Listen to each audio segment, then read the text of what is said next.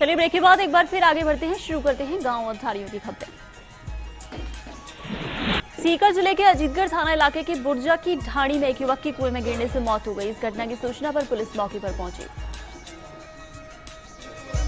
एक घंटे की कड़ी मशक्कत के बाद शव को बाहर निकाला जा सका। पुलिस ने शव को सरकारी अस्पताल की मोर्ची में रखवाया। वहीं मेडिकल बोर्ड से शव का पोस्टमार्टम कराकर शव परिजनों को सौंप दिया गया। मृतक हरिराम यादव की करीब डेढ़ साल पहले ही शादी हुई थी। वहीं परिजनों ने हत्या की आशंका जताते हुए मामला दर्ज करवाया। फ़िलहाल पुलिस इस मामले की जाँच में जुटी आवारा पशुओं से परेशान प्रतापगढ़ शहर के लोगों को इस समस्या से जल्द निजात मिलेगी। नगर परिषद की साधारण सभा की बैठक में सर्वसम्मति से आवारा पशुओं को पकड़ने के साथ कई विकास कार्यों पर चर्चा हुई। राज्य सरकार की और मनोनीत पार्षदों का भी बैठक में स्वागत किया गया। बैठक में भाजपा और कांग्रेस के अधिकांश पार्षद मौजूद रहे। नागौर ज़िले के अमरपुरा में संत शिरोमणि लक्ष्मीदास जी महाराज की एक सौ पुण्यतिथि में केंद्रीय राज्य मंत्री सिया चौधरी नागौर एमएलए हबीब रहमान पहुँचे। अमरपुरा केंद्रीय मंत्री अर्जुन राम मेघवाल, कृषि मंत्री बबूलाल सैनी भी इस कार्यक्रम में शिरकत करेंगे। मुख्य अतिथि केंद्रीय मंत्री सिया चौधरी ने संत के पद चिन्हों पर चलने, उनके विचार ग्रहण कर उनके सिद्धांतों को अपने जीवन में उतारकर उनके बताए मार्ग पर चलने का आह्वान किया। सिरोही के शिवगंज में उद्घाटन से पहले ही आरो प्लांट टूट गया। शिवगंज के खेजड़िया गाँव में आरो प्लांट घटिया निर्माण सामग्री के उपयोग से बनाया गया था। तीन महीने पहले बनाई हौदी टूट गई। सिरोही के शिवगंज में केसरपुरा ग्राम पंचायत के खेजड़िया गाँव में खंदरा सड़क मार्ग पर निर्मित रपट बारिश की वजह से टूटने से लोगों को आवागमन में परेशानी का सामना करना पड़ता है। सिरोही के शिवगंज में शिव कॉलोनी के बाशिंदों ने एसडीएम को ज्ञापन सौंपा। एसिड डालकर जलाने वाले असामाजिक तत्वों के खिलाफ कार्रवाई की मांग की। अजमेर के विजयनगर में मसूदा एसडीएम सुरेश चावला ने बताया कि कृषि उपज मंडी समिति में संचालक मंडल चुनावों के लिए मंडी क्षेत्र को आठ वार्डों में विभाजित किया गया। पूर्व में छह वार्ड थे और 28 सितंबर तक आपत्तियाँ मांगी गई। अजमेर के बिनाई में देवलिया कला ग्राम में हो रही अघोषित बिजली कटौती से ग्रामीणों में रोष है। ग्रामीणों का आरोप है कि 10 दिनों से अधिकारी अपनी मनमर्जी से बिजली कटौती कर रहे हैं। ग्रामीणों ने ज्ञापन देकर बिजली कटौती बंद करने की मांग की। अजमेर के बिनाई में बस स्टैंड से अतिक्रमण हटाई गई। पुलिस प्रशासन मौके पर मौजूद था। कई सालों से ग्रामीण अवैध रूप से कैबिन निर्माण कर अतिक्रमण किए हुए थे। ग्रामीणों ने इसका विरोध किया। करौली के नादोती में राजस्थान सरकार की भामाशाह योजना में बनी कार्ड में भारी गलती सामने आई। महिला के पति की उम्र बारह साल और बेटे की उम्र पच्चीस साल अंकित मिली है।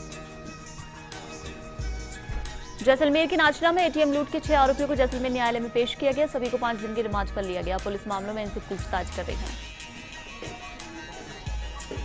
पाली के रानी के सामुदायिक स्वास्थ्य केंद्र को गणपत राज बदन राज मेहता चैरिटेबल ट्रस्ट ने अस्पताल में महिलाओं की डिलीवरी के लिए लेवल टेबल भेज की। बूंदी के कापरेन में जहरीले कीड़े के काटने से किसान की मौत हो गई, जहाँ पूरी घटना गेंडोली की झोपड़िया गाँव की है। चित्तौड़गढ़ के रावत भाटा में उरी में सेना के कैंप पर हुए आतंकी हमले के विरोध में भैंसरोडगढ़ पंचायत समिति से युवा और महिलाओं ने आक्रोश रैली निकाली। जय रैली, पंचायत समिति से शुरू होकर गांधी चौक पहुँची। वहीं पाकिस्तान के प्रधानमंत्री नवाज़ शरीफ के पुतले को जलाया गया और दो मिनट का मौन रख शहीदों को श्रद्धांजलि दी गई। भरतपुर के वैर नगर पालिका अधिशासी अधिकारी नवरत्न शर्मा द्वारा की जा रही मनमानी और स्वच्छ भारत अभियान की अवहेलना करने को लेकर कलेक्टर के नाम तहसीलदार को कसीवासियों ने ज्ञापन सौंपा। जहाँ ज्ञापन में आरोप लगाया है कि वैर में ईओ द्वारा सफ़ाई व्यवस्था नहीं की जा रही है, जिसके कारण सड़कों पर गंदगी का आलम है और वाहन चालकों को काफ़ी परेशानी हो रही है। चित्तौड़गढ़ के भोपाल सागर में जमकर मानसून बरसा है, फिर भी पेयजल के लिए लोग तरस रहे हैं। वहीं अधिकारी संतोष पर जवाब नहीं दे रहे हैं। श्रीगंगानगर के पदमपुर में सैनिकों के लिए बींजबाला पत्रकार संघ व जनप्रतिनिधियों ने श्रद्धांजलि सभा का आयोजन किया। शहीदों को श्रद्धांजलि देकर नमन किया। सीकर के फतेहपुर में 28 अगस्त को बिजली तारों से गंभीर रूप से झुलसे एक व्यक्ति की मौत व एक व्यक्ति के घायल के मामले में ग्रामीणों में भारी आक्रोश है। ग्रामीणों ने पीड़ित परिवार को मुआवजा और दोषियों के खिलाफ कार्रवाई की मांग को लेकर प्रदर्शन किया और बिजली बिलों के बहिष्कार करने की घोषणा की। नागौर की मेड़ता सिटी में कश्मीर में हुए आतंकी हमले के दौरान शहीद हुए जवानों को याद किया गया। शहर के युवाओं ने चार बजे चौक में मोमबत्ती जलाकर शहीदों को श्रद्धांजलि दी। युवाओं ने भारत माता के जयकारे लगाए। बीकानेर की नोखा में पब्लिक पार्क से जागरूकता रैली निकाली गई। शहर के मुख्य बाजारों से होते हुए लोगों को रक्तदान के लिए जागरूक किया गया। पंडित दीनदयाल जयंती के अवसर पर 25 सितंबर को कस्बे में रक्तदान शिविर का आयोजन किया जाना है।